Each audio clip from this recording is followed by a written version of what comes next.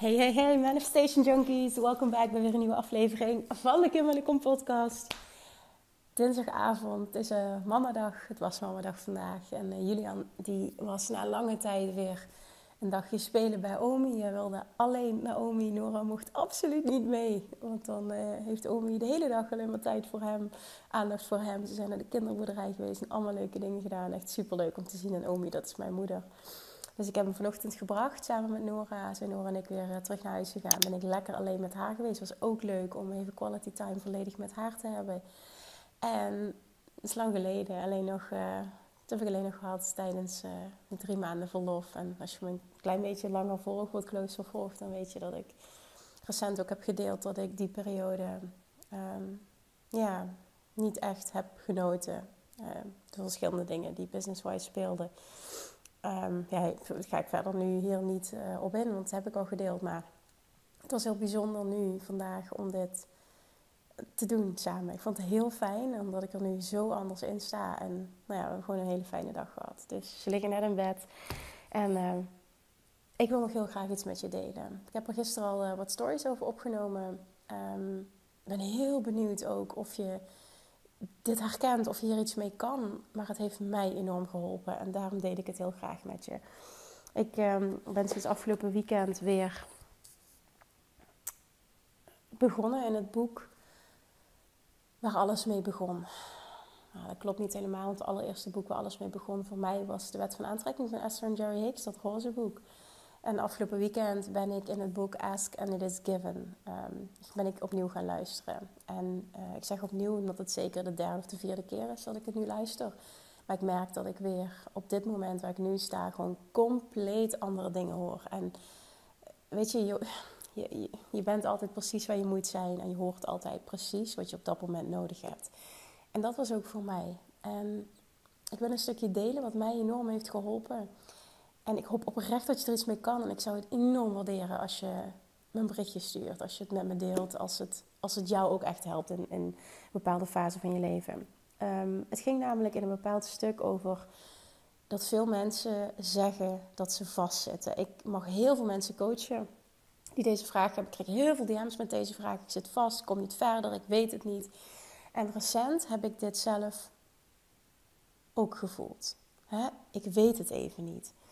Um, ja, dat gewoon. Ik weet het gewoon even niet. En, en ik, ik heb ben ook echt een stap terug gaan doen. Uh, Business-wise, eigenlijk al een paar maanden. En het voelt heerlijk. Echt, het voelt zo heerlijk. Ik had het gewoon echt nodig ook. En uh, weer dingen terug in alignment laten komen. En, en, en alles wat weerstand is, is, is weg. Zowel mensen als dingen als... Och, echt niet normaal hoe bevrijdend dit is. Het is echt ongelooflijk hoe, ongelooflijk hoe transformerend dat kan werken als je je gevoel volgt. Maar goed, dat is dus achter de schermen wat speelt. En um, afgelopen maandag um, had ik een teammeeting en toen bedankte ik mijn team. Um, ik zei namelijk, ik zeg, het is de laatste tijd ook voor jullie. Hè, doordat ik er even niet zo lekker in zat en een stapje terug heb gedaan. En misschien wat meer bumpy ride geweest. Nou, dat vader zei trouwens helemaal niet zo. Um, ik heb wat um, ja, best wel uh, misschien heftige, krachtige keuzes gemaakt. Uh, ook teamwise. Um, heel veel losgelaten qua dingen die we aan het doen waren. Het team geherstructureerd.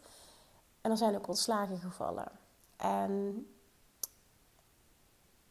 dit heeft mij zo goed gedaan. En dat realiseerde ik me afgelopen weekend heel erg. En ik wilde mijn team afgelopen maandag bedanken. Ik zeg, jongens, ik weet niet hoe het voor jullie voelt. Ik hoop dat jullie hetzelfde ervaren. Maar jullie bedanken voor dat jullie er zijn. Ik heb me sinds lange tijd niet zo vrij gevoeld in mijn bedrijf. En dat komt door jullie. En ik ben ontzettend blij met alle keuzes die ik recent gemaakt heb.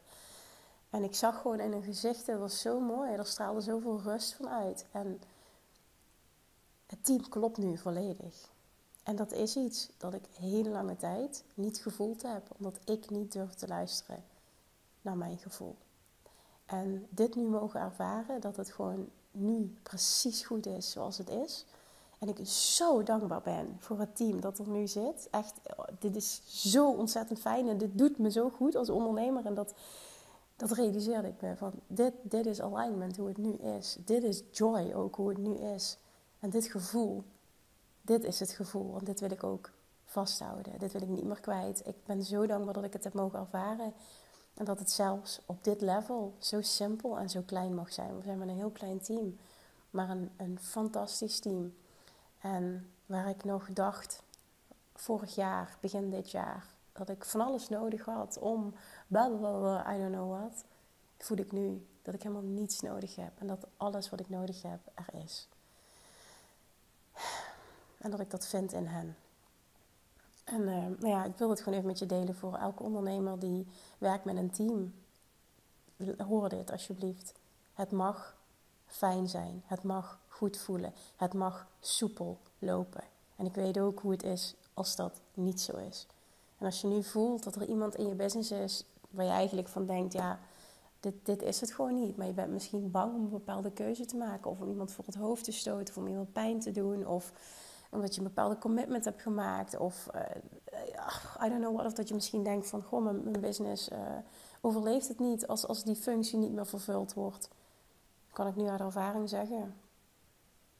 Je business overleeft het niet alleen. Je business zal thriven. En waarom? Omdat jij zult thriven. Omdat jouw energie weer aligned wordt. Omdat het weer gaat kloppen. En omdat het weer gaat stromen. En misschien denk je nu, want ik heb het ook gedacht. Och, ik heb het ook gedacht. I feel you. Maar uiteindelijk wist ik, ik moet mijn gevoel volgen. Mijn gevoel brengt me altijd, altijd daar waar ik naartoe wil. En door dat te durven doen, en het is de afgelopen tijd ook best wel pittig geweest daardoor en moeilijk. En uh, er zijn allemaal gesprekken geweest waar ik, uh, ik gewoon helemaal niet blij van word, wat niet mijn favoriete ding is om te doen. Het is zo goed geweest. En ik hoop dat je het hoort, ik hoop dat je het voelt.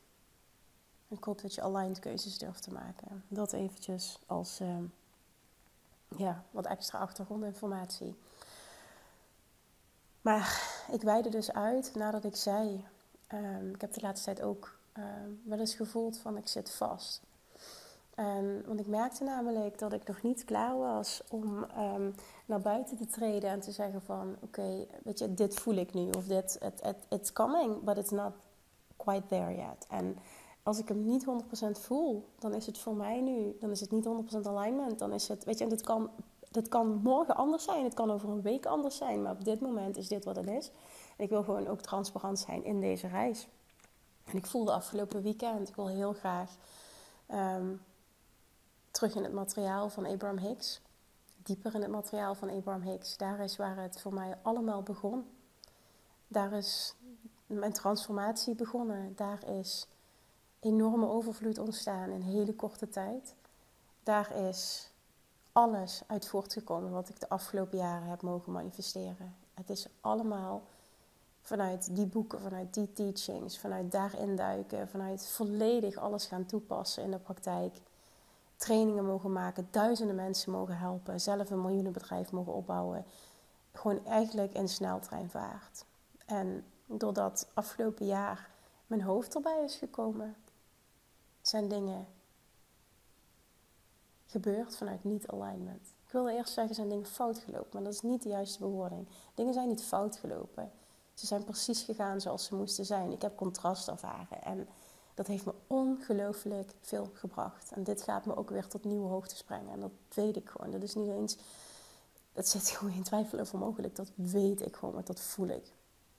En het begon daar allemaal. Het heeft mijn bedrijf opgeleverd. Meer dan een miljoen. Duizenden mensen mogen helpen op een hele simpele manier. Altijd op mijn manier. Altijd op op een manier die aligned voelde voor mij. En zolang ik dat volgde, gebeurde alles wat ik wilde, lukte alles. En afgelopen mei, tijdens mijn verjaardag, hè, 13 mei, was ik in Amsterdam voor het live event van Abraham Hicks. En ook daar vond weer een doorbraak plaats. Want daar, ook weer daar, hoorde ik... Het doel van ons leven is joyful expansion. Waarom dat je hier op aarde bent, is joyful expansion. Om vreugde te ervaren. Om vanuit vreugde te expanden, te groeien. En niet andersom. Die kwam zo binnen. Het heeft gemaakt dat ik thuis ben gekomen na dat weekend, meteen die week, radicale keuzes heb gemaakt ook in mijn bedrijf. Radicaal meteen dingen anders ben gaan doen, want voor mij voelde heel sterk, business-wise, voelde dingen niet meer aligned. En dat heeft me ontzettend veel gebracht. En ik merkte afgelopen weekend, ik ben nog niet 100% daar waar ik wil zijn. En ik voelde gewoon, dat, ik, voor mij voelt dat altijd, ik word geleid gewoon naar boeken. Dat, dat, ja, nou ja, degene, ik, ik, denk dat je het snapt. Als je mijn podcast langer volgt, dan snap je me. Ik, werd, ik word gewoon geleid naar boeken. En ik werd geleid naar...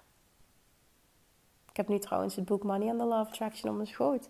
Ik ga ook mee op vakantie. Ik weet niet of dat gedeeld trouwens, maar we gaan vrijdag op vakantie. Ook heel spontaan, last minute. Volgens mij heb ik dat helemaal niet gedeeld. Nou ja, dat. Ik heb er super veel zin in.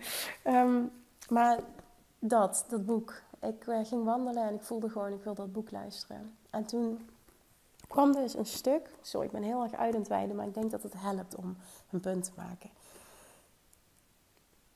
Ik luister dus een stuk over vastzitten, het gevoel hebben van vastzitten. En ik hoor dat van veel mensen, krijg die vraag van veel mensen. En ik heb het um, na lange tijd, echt na hele lange tijd, zelf dus ook uh, ervaren. De afgelopen tijd. In ieder geval dat ik dat zo gevoeld heb. En toen wordt er gezegd vanuit Abraham: You are never stuck. Things are always in motion. Life is always in motion. Je kunt niet vastzitten. De enige reden waarom je ervaart dat je vastzit of blijft hangen, of maar minimaal stapjes vooruit maakt. Hè? Misschien herken je dat, misschien business-wise, I don't know, op relatievlak steeds hetzelfde komt op mijn pad, op gewichtsvlak, gezondheidsvlak, je komt niet uit een bepaalde situatie. Dit is niet omdat je vastzit. Dingen, alles is energie. Everything is constantly in motion. Alles is in motion. Things are constantly in motion. Life is always in motion. Altijd in beweging. Het kan niet dat je vastzit, want alles beweegt continu. De enige reden waarom je voelt dat je vastzit, en die komt bij mij echt keihard binnen en super waardevol, is omdat jij over dat ene ding, dat onderwerp, continu dezelfde gedachten blijft aanbieden. Je blijft continu hetzelfde uitzenden over dat onderwerp. Je draait in een cirkeltje, waardoor je continu hetzelfde op je bordje blijft krijgen, waardoor je continu hetzelfde blijft krijgen. Het is niet dat jij niets anders kan krijgen in het hier en nu. Het is niet dat er niet anders beschikbaar is, want alles wat je wil is nu beschikbaar. Alleen je bent niet in de ontvangmodus op het moment dat jij gedachten blijft aanbieden die je niet meer dienen en die je vasthouden. Alles in je realiteit is een reactie op wat je dominant uitzendt. En ik weet het. En ik wil er ook volledige verantwoordelijkheid voor nemen. Maar ik moest dit horen op deze manier.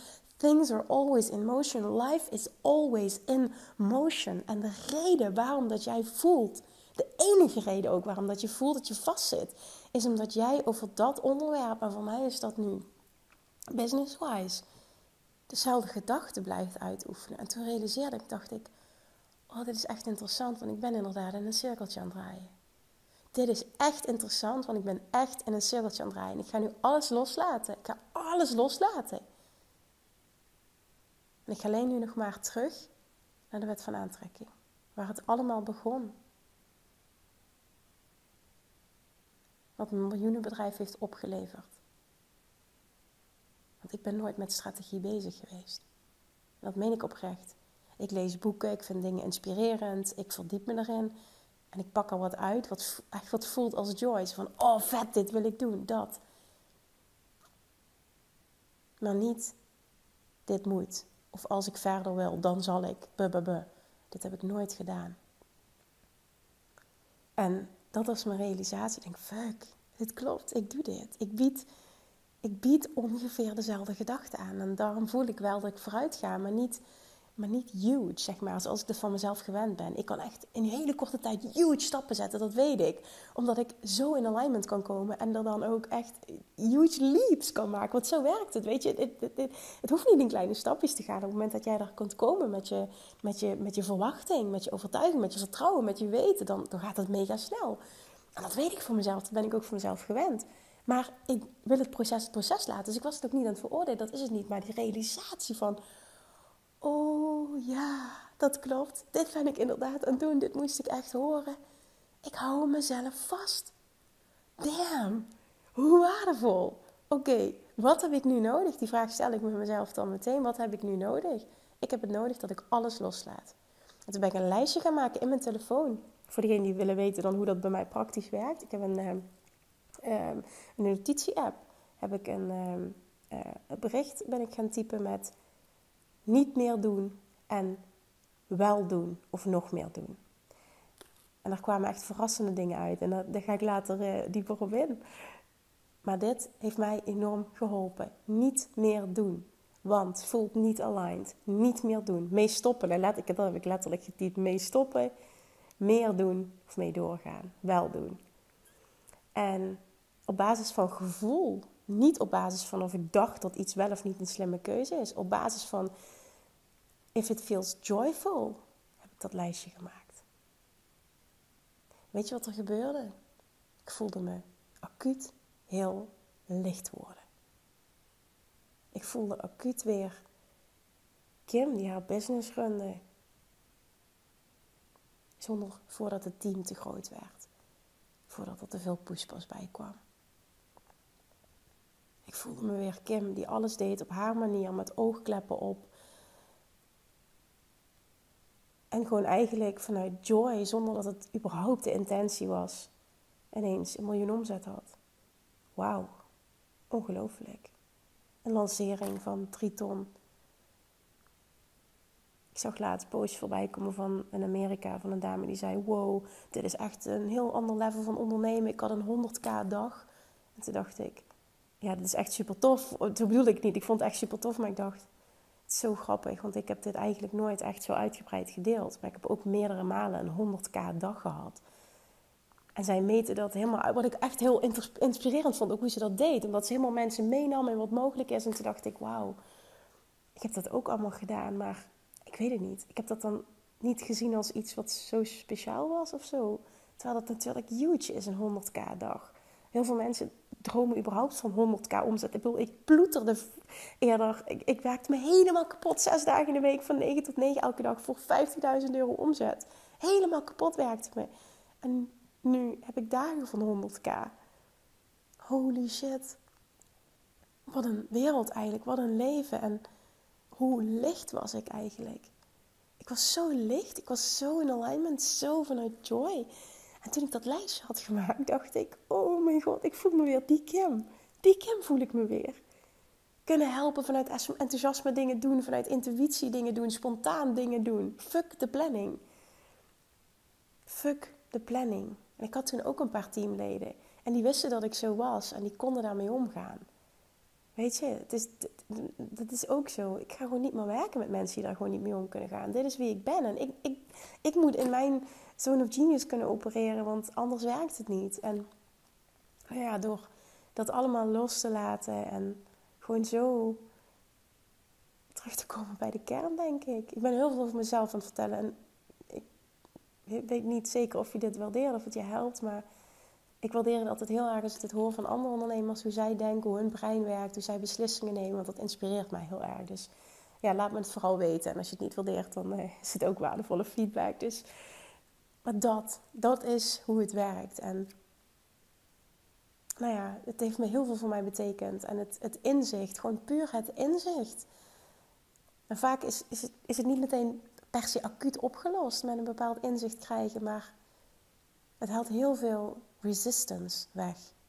En ik moest meteen ook denken aan een enorme doorbraak die ik heb gehad toen ik bij een coach was, jaren geleden die toen tegen mij zei, omdat ik, uh, ik, ik, kwam dan met een bepaalde hulpvraag eigenlijk van nooit, um, uh, dat het nooit voelde als goed genoeg. Ik was nooit trots op mezelf, ik kon nooit blij zijn. En uiteindelijk, nou niet uiteindelijk, vrij snel al, dat zij gewoon heel duidelijk en straightforward tegen mij zegt. Met deze woorden, ik vergeet het gewoon nooit meer, omdat het gewoon life-changing voor me is geweest. Weet je wat jij doet, zegt ze. Weet je wat jou, nee, ze weet je wat jouw probleem is? je koppelt je eigen waarde en je gevoel van succes volledig aan wat je presteert en hoe je eruit ziet. En daar koppel jij je zelfliefde aan. En mijn zelfliefde was 100% voorwaardelijk. En als iets niet werkt, dan is het zelfliefde die voorwaardelijk is. Je wil onvoorwaardelijke zelfliefde. Ik had geen idee wat het was. Maar ik zeg dit omdat dat inzicht niet maakte dat het acuut was opgelost. Maar het inzicht bracht mij zoveel helderheid dat ik dacht: oh my god, dit is het. Dit is het gewoon. Hier mag ik aan werken. En iedere keer dat ik merkte dat ik, dat ik weer uh, in het oude schoot, qua gedachten, qua gevoel, qua gedrag, dan was het shiften. En datzelfde is nu in dit geval. Dit inzicht is zo waardevol en dit is precies wat ik nu nodig had. Net als het inzicht van het doel van ons hier op aarde is joyful expansion. Ik heb jarenlang het woord joyful. Ik hoorde het wel, maar het kwam niet binnen. En nu was het moment dat ik het kon en moest horen. En dit is weer een nieuwe diepte. Ehm, en ik denk ook gewoon joyful dat ik het normaal vond. Omdat, weet je, mijn reis is altijd joyful geweest. Het was altijd joyful expansion. Dus dit was niet meer dan normaal. Misschien dat dat ook wel reden is waarom ik dat niet echt zo liet binnenkomen. En omdat het er nu niet meer was, voelde ik het zo. Omdat dat precies was wat ik nodig had. Ik denk, zo moet ik het zeggen. Want zo is het. Dus ik hoop dat dit inzicht alleen al jou ontzettend veel kan brengen. En nee, het klopt. Misschien is het niet van vandaag op morgen meteen een dikke doorbraak en opgelost. Maar totdat jij weet dat het niet is dat je vastzit. Je zit nooit vast. Je zit nooit vast. Wat het ook is, je zit nooit vast. Want life is always in motion. Things are always in motion. Things are always vibrating. Alles beweegt continu. Alles, alles is in motion, continu. En door je dat te beseffen en door te beseffen dat het enige wat nodig is, en het klinkt heel simpel, maar maak het ook vaak niet moeilijker dan dat het is.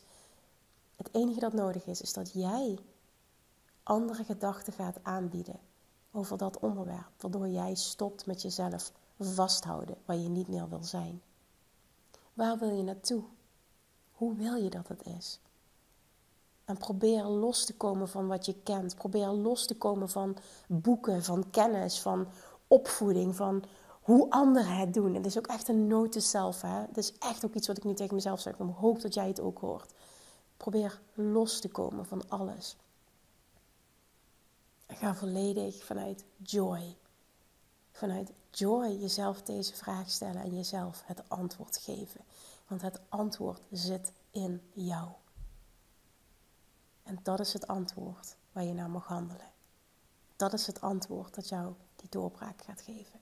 Want als jij iets anders gaat aanbieden, een andere vibratie gaat uitzenden, dus andere gedachten en dus andere gevoelens gaat uitzenden over dezelfde situatie, over hetzelfde onderwerp, zal er een shift plaatsvinden. Zal er een doorbraak plaatsvinden. Laten we dit samen gaan doen. En voel ook dat het je 100% gaat lukken. Ook al ben je er nog niet, ook al zie je het pad nu nog niet. Het gaat over vertrouwen en weten dat jij de kracht bezit om dit te doen. En hoe krachtiger jij wordt in dit vertrouwen, en dit kun je trainen. Want voordat ik de of Attraction ontdekte en dit ging masteren en ook niet die zelfliefde kende, kon ik dit ook niet. Maar dit is te trainen. Dit zeg ik echt uit ervaring. You got this. Oké. Wat is joyful? Je zit nooit vast. Wat heb jij nodig om iets anders te gaan uitzenden over dat onderwerp? Whatever it takes, vanuit joy, do it. Oké, dat was hem. Ik hoop zo dat dit kleine, simpele, ja, dat is het wel. Eigenlijk is het iets heel simpels, maar voor mij was het een huge doorbraak, dit inzicht. Jou net zoveel brengt als dat het mij brengt. Let me know. zou ik echt heel tof vinden. Let me know. Thank you as always for listening. Ik lekker slapen. Nou, je luistert misschien morgen vroeg. Ik ga lekker slapen nu. En uh, tot heel snel. Mwah.